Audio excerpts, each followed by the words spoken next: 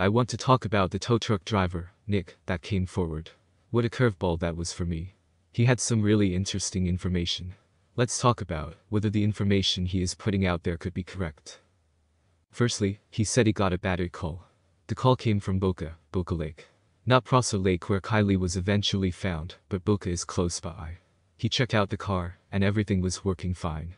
He noticed the girl in the car, which he believes is Kiely, was very hesitant and asking very strange questions. One thing she mentioned was that she was there all night. The guy that was with her wore a black San Francisco cap, brown hair sticking out on the sides, and some freckles or acne spots. This description made me, and many others think of ex-boyfriend Jagger. Both people in the car seemed uneasy.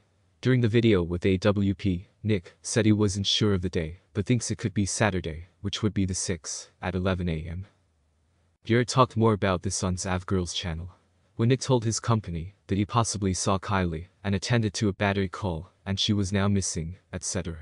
The company locked down the dashcam footage. Law enforcement is following up on that footage.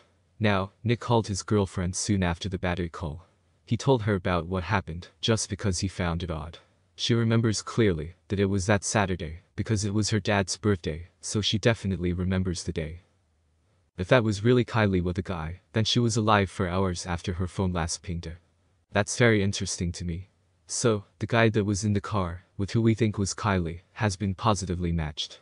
Is that Jagger? I don't know. The female, who Nick says was Kiely, they are working on getting more information on that. I'm sure they will be able to tell who that female is once they look at the footage.